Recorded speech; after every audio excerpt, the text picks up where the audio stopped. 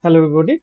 Uh, today we'll talk about how we can integrate search functionality in Strapi CMS using uh, Meilisearch and on the front end we'll use React.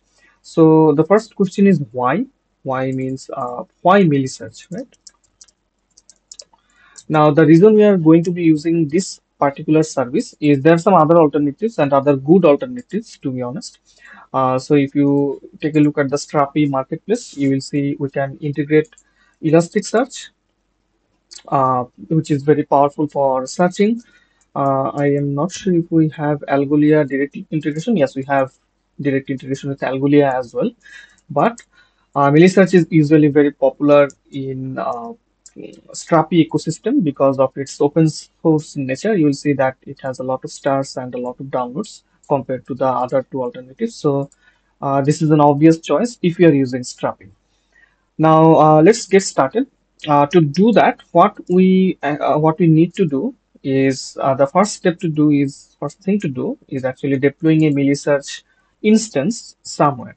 So this is not just a library that can work locally. So let's say this is your CMS. Uh, it actually has to use, or let's say the CMS will actually talk to the uh, search instance that you will set up. So whenever you update any data in the CMS, uh, the search instance, in this case, Meilisearch instance, will automatically rank or categorize your data and make it ready for search. So we first, uh, so just to give you an understanding, the search engine will live separately from your Strapi server. So how can we do that? Uh, there are uh, many guides. Uh, here is one guide you can find in Meilisearch docs itself. I'll link it in the description where you can see you have multiple options. You can deploy to AWS, Azure, DigitalOcean, many other services. In this instance, we are using DigitalOcean to host our Strapi application. So I'm going to use Meilisearch there. Uh, you can find the whole guide here. It is very straightforward. So basically, you go to your DigitalOcean account you find out this droplets tab you create a new droplet select a particular region whatever is the most appropriate one if you search Meilisearch you see that there is a pre uh, there is an image for that basically so you will be presented with two, these two options you have to select the marketplace and uh, you have to search for it uh, once you select then you can basically select your plan Uh, the lowest I think is mm, four dollar is not supported, so the lowest is six dollars per month, which is very cheap compared to the other alternatives like Algolia or something like that. Uh, in fact, Meilisearch has their own deployment as well. If you are interested, they charge at minimum thirty dollars per month, I think. So hosting it yourselves, you might consider this. You just have to do some setup yourself. Uh, everything is as it is. Uh, you just hit, let's say uh, SSH key, you create a new SSH key and create the document. So that is the first step, uh, which you will do is uh, deploy Meilisearch to DigitalOcean. After you do that, uh, the next step is actually going into the droplet itself and uh, setting it up. So let me do that now. Uh, we have another uh, Meilisearch instance deployed in another account. So I just wanted to show how to do it. So if you go here, you'll see that uh, to deploy the CMS, we have a special droplet here that says Meilisearch, and you can see we have the public IP address here, which we need. Uh, you can click on Get Started, or you can actually go into the um, droplets itself in order to set it up. So let me just show you. You go to this access, you go to this droplet console, launch droplet console. And if we come to the documentation, you will see that you have to run this command, Meilisearch setup. So basically you can open it in your browser window. You can run Meilisearch setup and it will take you through the installation process. This is actually pretty straightforward. I'm not going to show it to you because that's not the point. Basically, you just need to run this command and it will ask you uh, for setting up a master key, which is pretty important. So it will ask you for a master key. You should note it down somewhere. So the summary is you need two things. The first thing is this IPv4 address, and the second thing is the master key that you get from in this console. Okay. So that that was our uh, third step. You need IP address of the instance and the master key. So that's what the two things you need from this step. Now, the next step is uh, installing the Meilisearch plugin uh, that you see here in your Strapi application. So it is also pretty straightforward. You just go to your uh, Strapi project. So this is the Strapi project and you just add yarn add Strapi plugin Meilisearch, right? So that's it. You just you don't need to do anything else. There is there are ways to configure it through the configuration file itself, but I'll show you how to do it on the UI. That's easier actually. But obviously you can go through this documentation to find out how you can configure it through the uh, project configuration. That is pretty straightforward as well. Now, after you do all of these things, then you go to your uh, CMS and after you deploy it, you'll see you will have a new tab here that will say Meilisearch and this will basically show you all of the collections that you have. Okay? And you can add any collection type for searching here. So by default none are selected. Let's say you want to have game theme to be searchable or language to be searchable right? Whatever it doesn't matter. So whatever you want to do you just click there and let's say I click here and it is added uh, the data is basically indexed and you can search through it. Remember one thing your collection name is going to be your index name in the search engine okay? We'll see what an index means.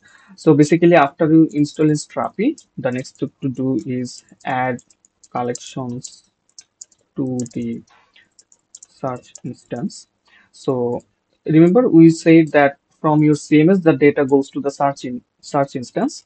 And here you will have basically a lot of indexes. So you say index one you'll have index two. So in broader terms index means uh, it's basically your data but in an organized way so that it's easier to search through and it's faster so the only thing to keep in mind is whatever the collection name is on Strapi is going to be your index name. We'll see how it's relevant later. Uh, the next step is actually to get the key. So a key is what you will use to call your search instance. So basically doing all of your searching works. So you need the key. Uh, remember we collected the IP address and the master key before. So if you visit Meilisearch documentation, you will actually see that uh, how there is there are talks around how to get the keys. Basically, you have to make a REST API call to get the key, and you will get a JSON response like this. Okay, the way to do it, I'm going to show you it in Postman. Let's say this is the endpoint, right? This is the IP address, and obviously this is going to be changed um, so this is the IP address and you will add the authorization header. Uh, you add the bearer token. So bearer token is, so I have added test here. Remember we collected the master key. So after bearer, you will write your master key here, not test. This is just for demonstration purpose. So whatever your master key is, you will add it here. You will make the API call and you will get a response like this. The first result is the default search API key. You will collect this key and store it somewhere. Because when you are actually going to make search request from the front end you need that key. And this is basically the public key. Another way to do it is using your master api key to make the search call but this is not secure at all because your master key can be used to control the whole instance. So you should not do that obviously create a public key and add it on the front end okay the final step is actually seeing if the search is working or not. To do that, uh, whatever JavaScript framework you're using. It can be React, Next.js, Vue.js, whatever. It doesn't matter. You have to install this package or library, which is Meilisearch, and they actually provide the documentation around how to create an instance. So to create the instance, you need the host name. So the host name is basically the IP address. Uh, so basically this thing, okay, excluding the keys. And you will see the second parameter is the API key. It shows your master key, but obviously, as I told you before, you should not use your master key. You use your public key, whatever you get here, search API key. Okay.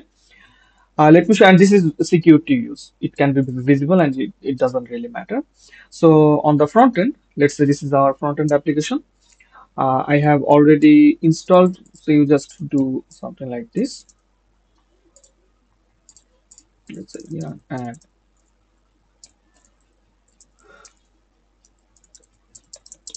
something like that. I already did that, so I don't need to do that again. Then you create a search component like I did here. Uh, you create a client, you give it the host name and the API key. Another security concern here, you see that we are not using HTTPS, but in production, you should obviously use HTTPS. Uh, the instruction to do that is actually given in the documentation of how to deploy it to uh, DigitalOcean. So the next step is creating a client like this. I'm importing Meilisearch, creating a client, and the final step is to actually make the uh, search query. Okay, uh, here you can see I have an input. Uh, I am just tracking the search term here and making a call to the Meilisearch instance. I'm doing a multi-search, so I can actually search in different indexes. So different indexes, if you remember, are actually different collections.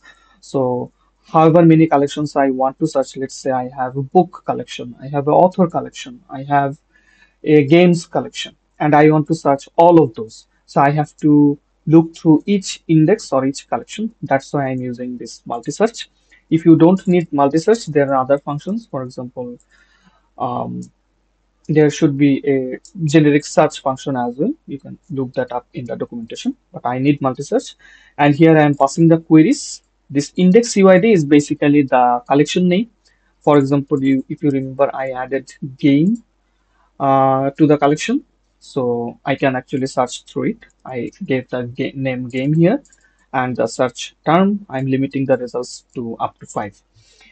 Now, if we go to the front end, let's say if I search for a cryptocurrency name, uh, if I hit enter, I making any network call?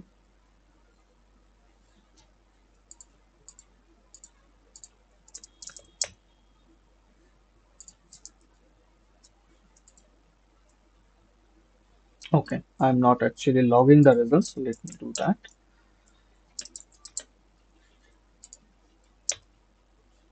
Now you can see I'm getting the results back. If I zoom in a bit, you will remember that I have searched through two indexes. Here is the casino results. You can see all of the hits. And here is our game results. So we can actually search through it. You can show the search results and whatnot. So that's basically it. That's how you integrate search functionality in Strapi using Meilisearch. Uh, hope you found it useful. I will try to link all of these documents at the bottom for your convenience. Thank you for watching. Have a nice day.